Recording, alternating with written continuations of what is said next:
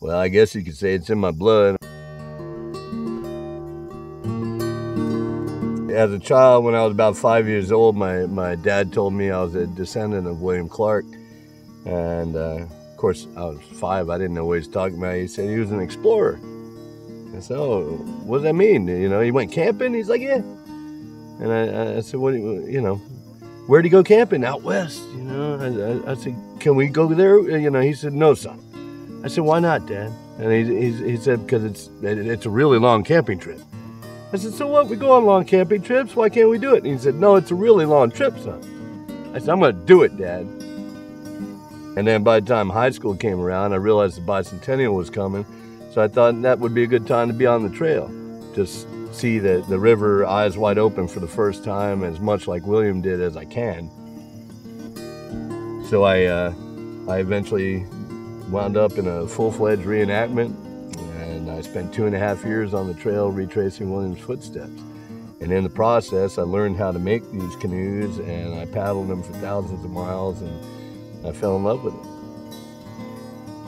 For me, it's magical, and I, I, I always tell people these these canoes have what I call dugout canoe magic, and everywhere you, you go when you're making them or paddling them for that matter, uh, they the people just are brought, they, they just come to the canoe, and uh, and they walk away smiling every time. And and if I'm working on them, uh, I encourage people to chop and uh, especially the kids. I get lots of kids involved whenever I can. I do festivals and work with schools and, and tribes and everything, and and it, it's just amazing. And it, it it's uh, it's you know people coming together to make something beautiful.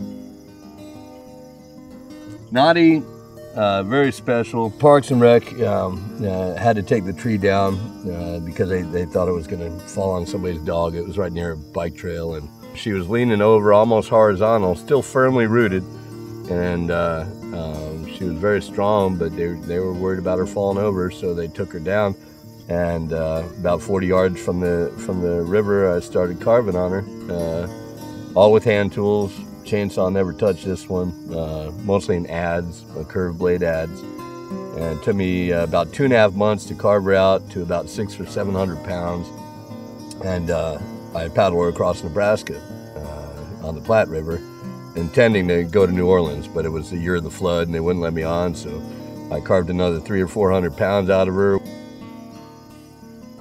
and sent her up to Montana via Craigslist of all things. The first time I ever used it. Said dugout canoe needs ride to Montana. And in three days I got a ride from St. Louis to Montana just like that, and then left her up there to until I could actually do this journey. And I finally got in last year and started paddling.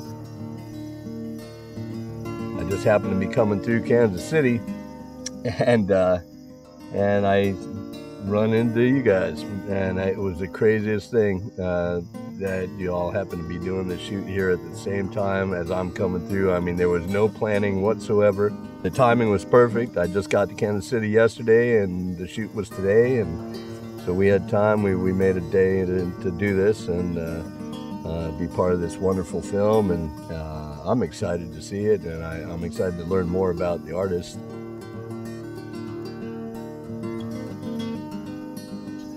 But I'll tell you, after uh, after doing the journey uh, for two and a half years, it changed my life forever.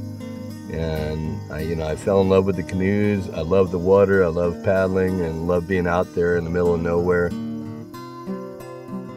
And that, that's that's why I carve the canoes now and paddle them and share the stories because I want people to understand. You know, you, you, if you do some beautiful stuff and make make cool things together and bring smiles, man, that your whole world changes all around you.